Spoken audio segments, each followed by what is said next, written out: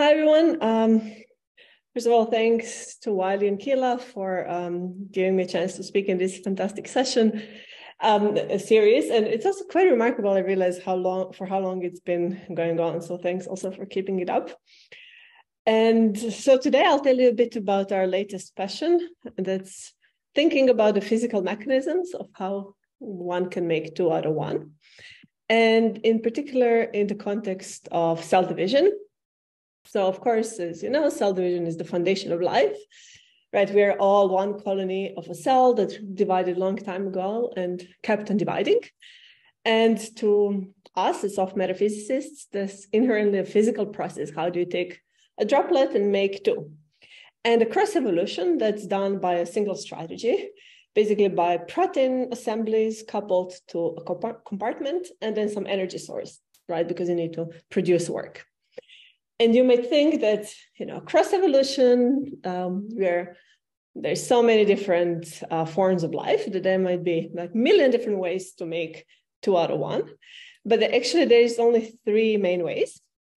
So and it's nicely split according to the tree of life. So the tree of life has two prokaryotic unicellular branches.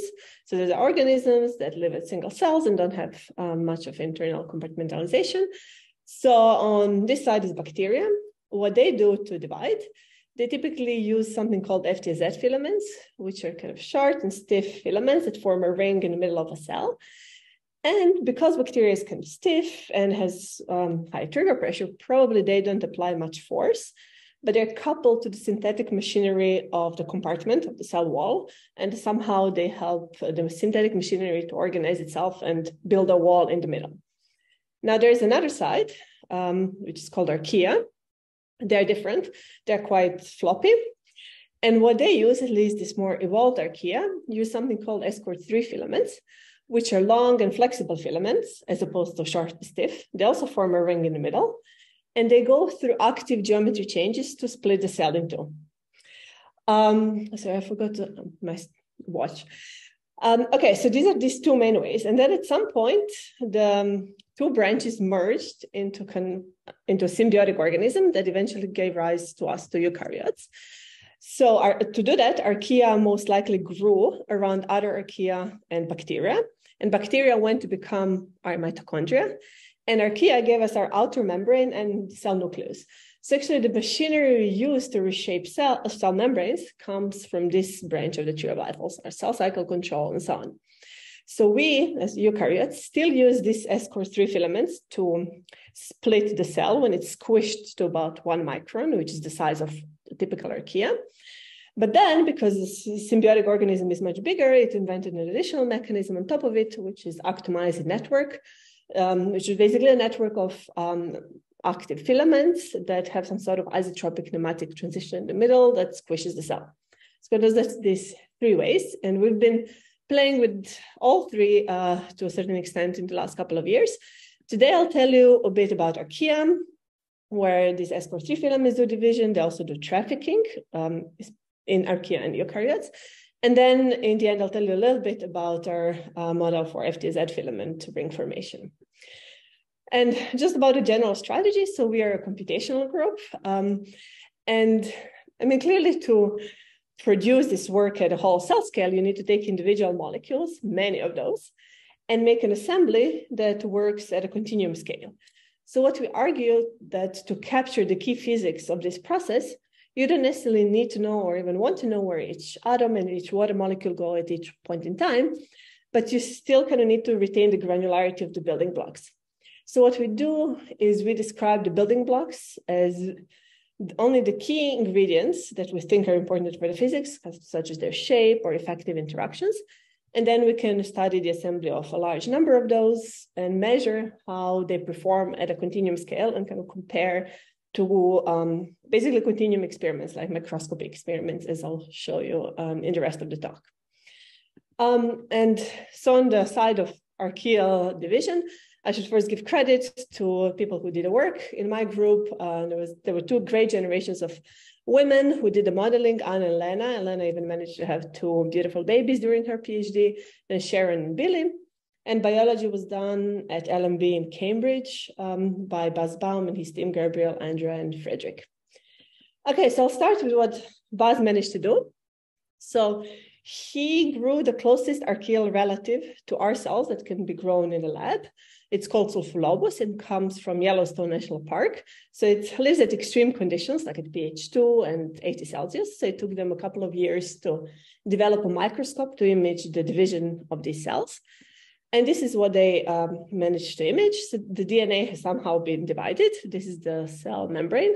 And the way the cell uh, content is divided is the first one filament forms in the middle of a cell. This is ESCRT filament here in pink.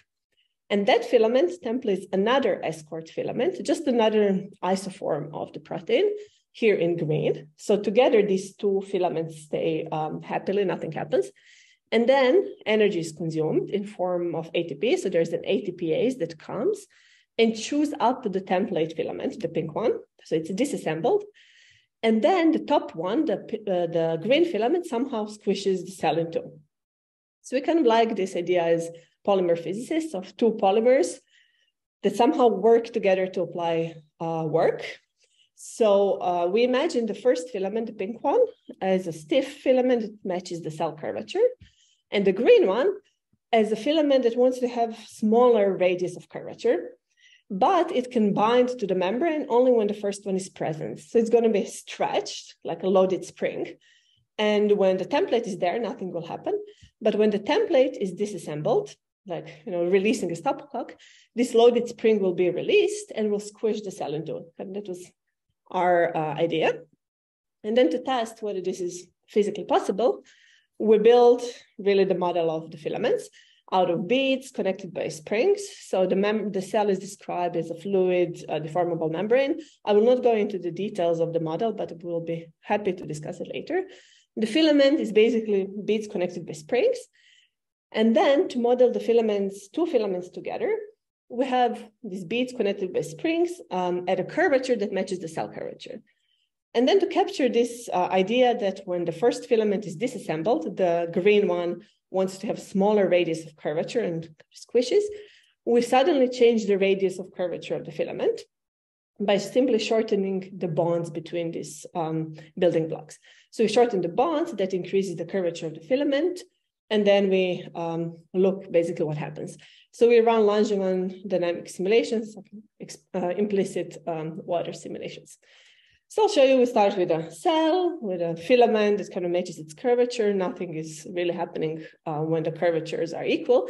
And then we suddenly change the curvature of the filament to a smaller radius. And what happens is filament coils up, it squishes the cell, but of course it stays there. it doesn't let the cell uh, to divide. And indeed, if you go back to uh, cells and measure the um, content of this protein in the cytoplasm as the cell divides, it goes up, meaning the filament disassembles as the cell constricts. And actually, our collaborators have recently managed to prevent the disassembly of the filament and it's very nice. Like what you can see is that the cell cannot divide, the filament stays in the middle. And you can actually see the two filaments very clearly. So there is one in the middle of the cell that wants to have a smaller radius of curvature, and another one that kind of separates from it because it wants to have larger radius of curvature. Okay, so we start disassembling, but basically cutting the bonds. And what we see is, of course, if you disassemble too quickly, nothing happens. In these non-equilibrium games, you need to do things with the right rate, with the right protocol. But if you let the filament uh, change its curvature and disassemble slowly enough, the membrane will have time to adapt to go to a tight neck. And then as the filament is disassembled, the neck will not be supported by the filament inside anymore. It will be at high curvature. The thermal fluctuation will um, destabilize it and the membrane will naturally get cut kind of into two parts. So we're happy about that. But what I thought was kind of the main value of um, this exercise is that now we can start comparing to live cell data. So we got a bunch of cells from Buzz.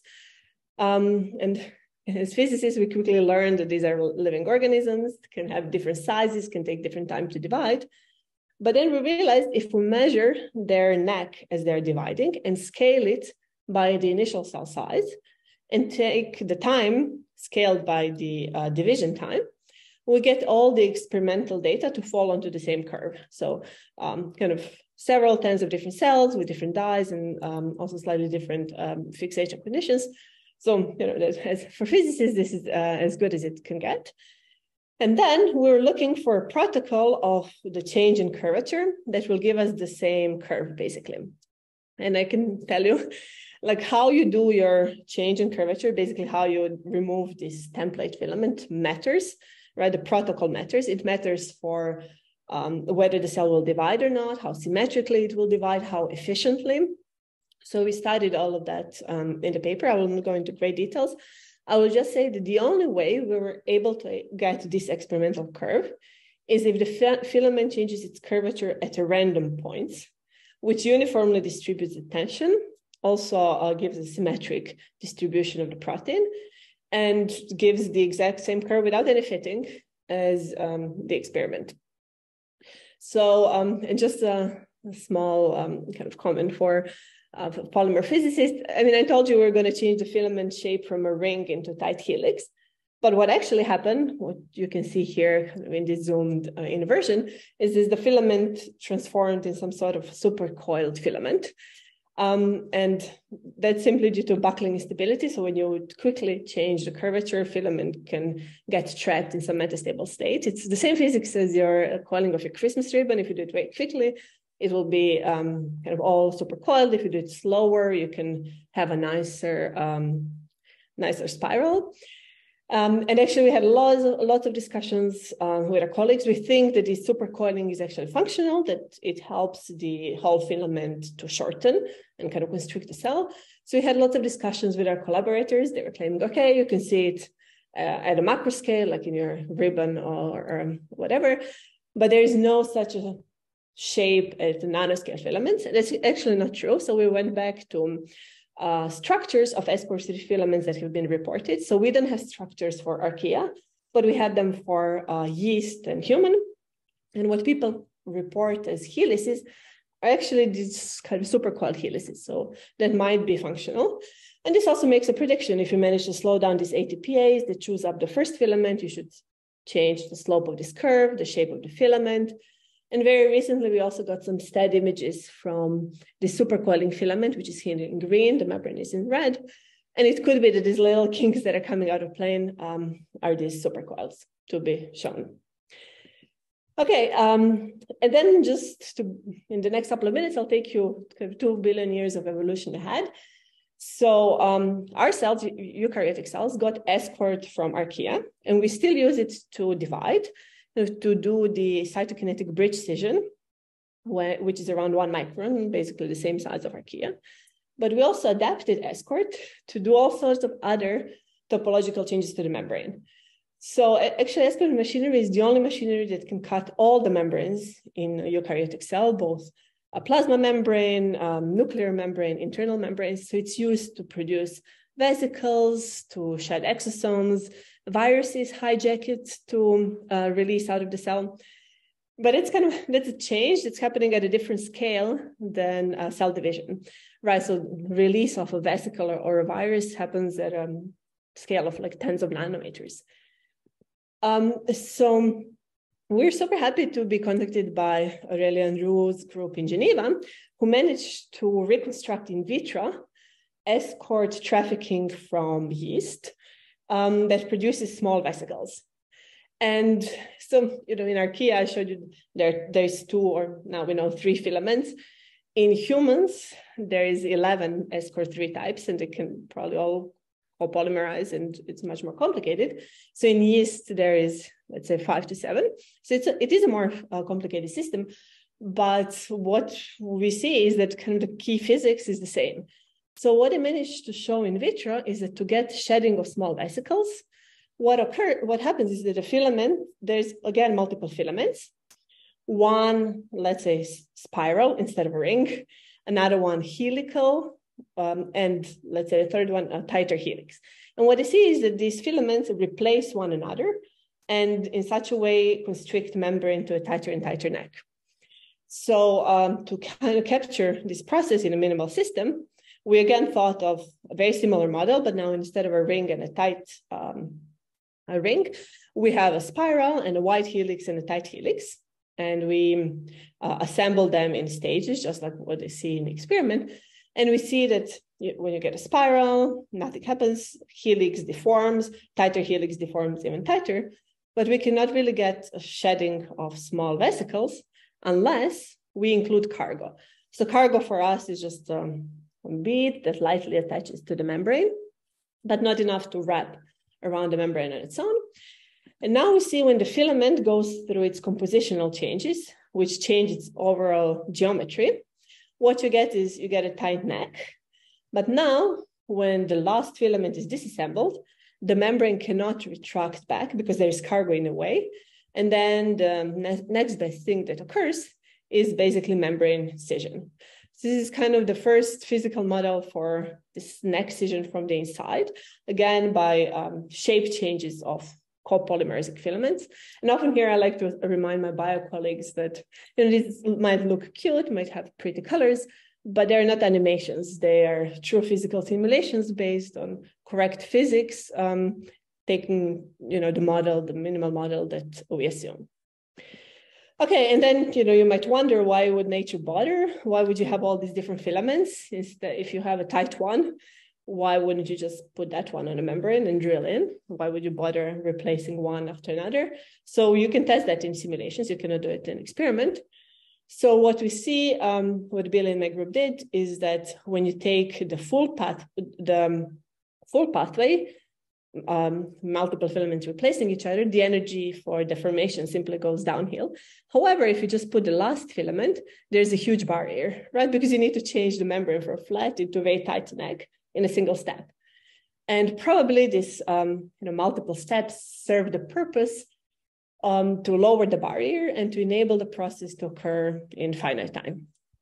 Okay, so I'll wrap up here on um, the archaeal and ESCRT side.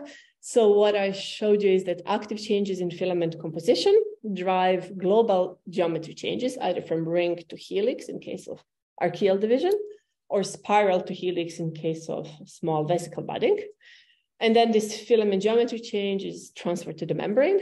And it is kind of a different type for forced production of the nanoscales as opposed to actin and microtubules that consume energy at the level of individual molecule. Here you get a whole dead uh, nanoscale structure that's completely remodeled to produce force.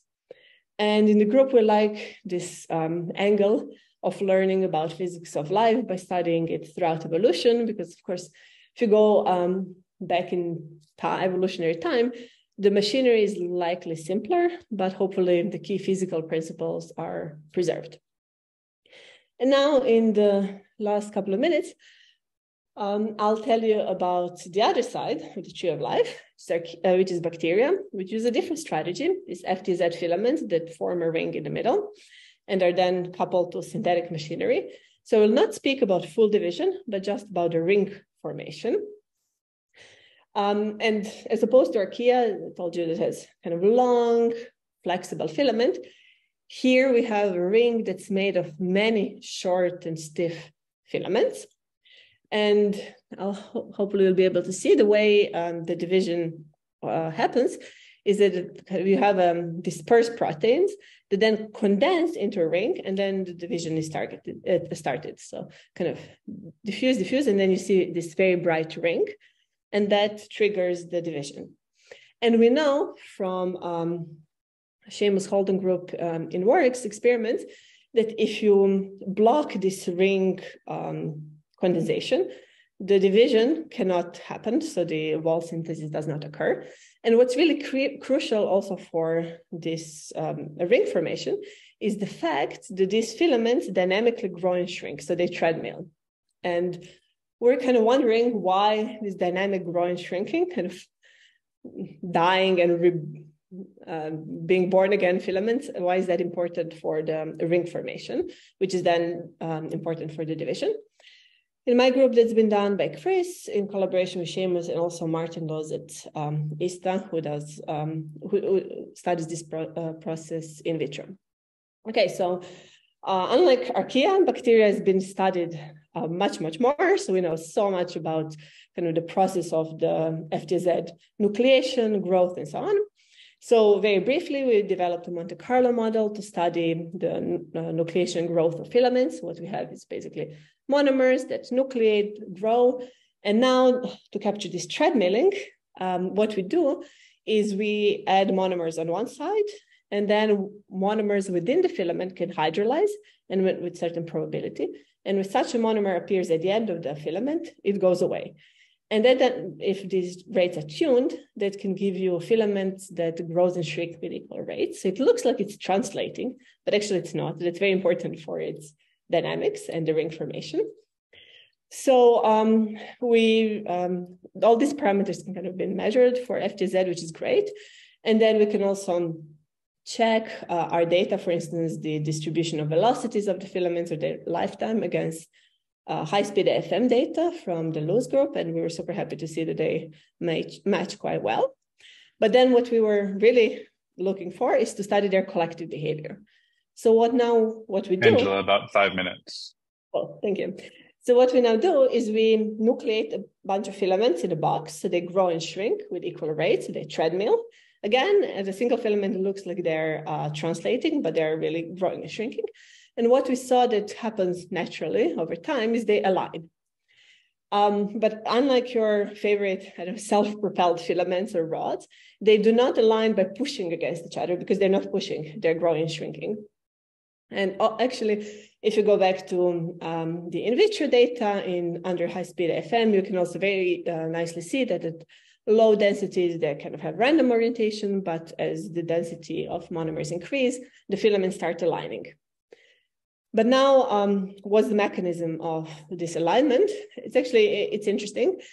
Um, what, what we saw in simulations occurring is that if a filament grows under certain angle opposite against its neighbors, it cannot grow, right? It's due to volume exclusion, but it can still shrink. So what will happen is that filaments that are not parallel with its neighbors will on average shrink, and, but only those that are parallel with its neighbors can keep on growing. And on average, over a long time, this gives you alignment. Um, and then we wanted to see whether this mechanism can give rise to the ring formation. So we needed two more ingredients for that. We needed curvature such that the filaments can go perpendicularly. And also we needed something to position them in the middle of a cell. And we know that in bacteria, there are underlying reaction diffusion reactions, um, which um, enable filaments to preferentially nucleate and grow in the middle of a cell. It's probably how the cell measures its size. Okay, so now we added this spatiotemporal uh, pattern of nucleation and uh, growth rates. And what we see is uh, that the um, ring naturally forms, actually quite um, packed, um, um high packing. But then again, okay, now we unwrapped it back to a cylinder, um, and you can see this ring growing and running around. But again, what I thought was um, nice is that now we can compare to live cell data. So what we got from the Holden lab is the ring density and width in time. And what we see is that the ring um, width um, shrinks very quickly on the scale of under a minute. So the ring nucleates very quickly, and that's really triggered by this underlying uh, reaction diffusion. But then it grows very slowly over tens of minutes.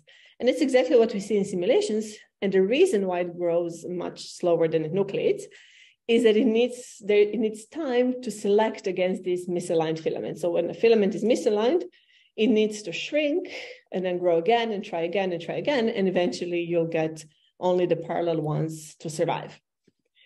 And then um, what was kind of confusing from experiment for uh, a while is that these rings run faster and faster with time. So um, when the ring just forms, there's a bunch of stuck filaments. As it matures, the average velocity is higher.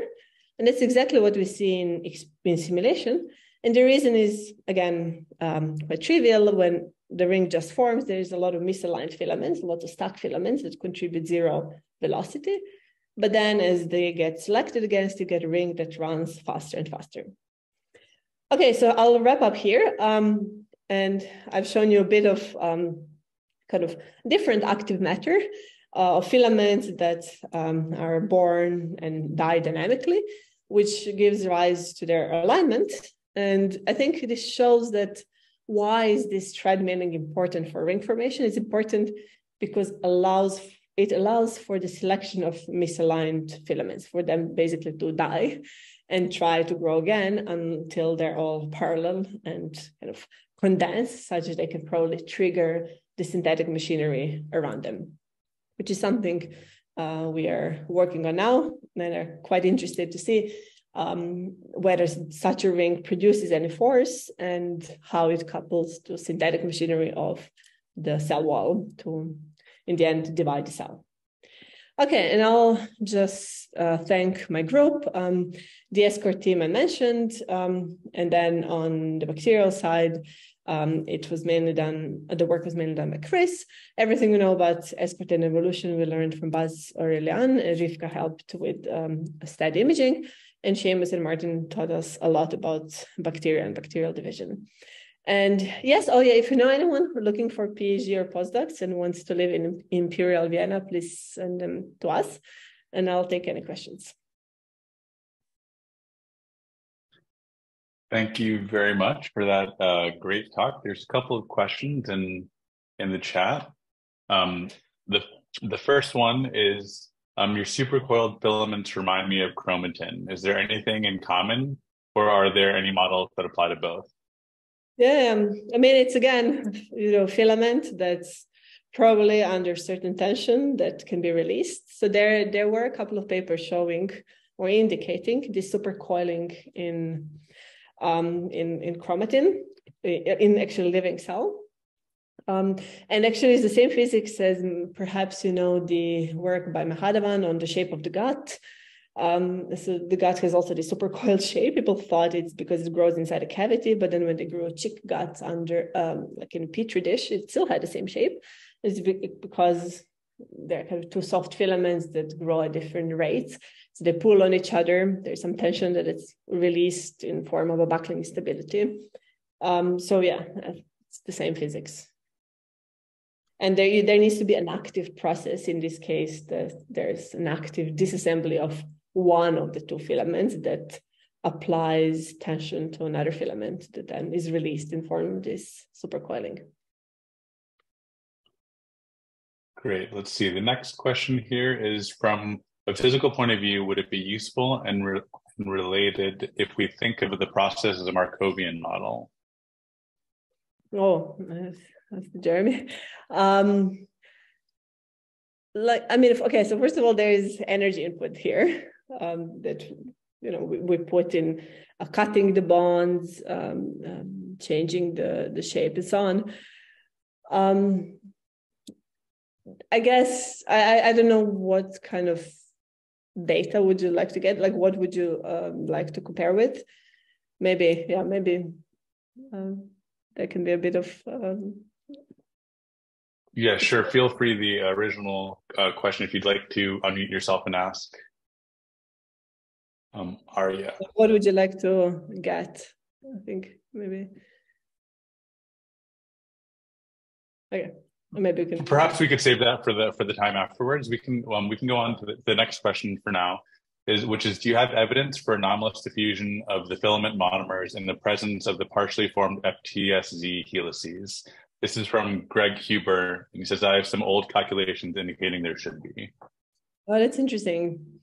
Um I see um because it's crowded and kind of hitting one another. So we don't have any resolution, any monomer resolution for, um, yeah, experimentally. And then in simulations, what we do is we kind of add a monomer to the top, to the head of the filament uh, from um, a reservoir and remove it from the other end. So we don't explicitly model the diffusion. I think that is a valid point. Like um, also when a monomer leaves, probably going to hang out closer, so it might be added to another filament that's closer to the tail of um, the previous one. So we didn't have add that. just a little bit of uh, yeah. um, explanation to my question, which was when you have those helical tracks, you kind of convert 2D diffusion to something that's between the monomers, so uh, between the helices. So it's a little bit like a one dimensionalizing the diffusion uh, if it's in plane, if it's in the plane of the membrane, let's say.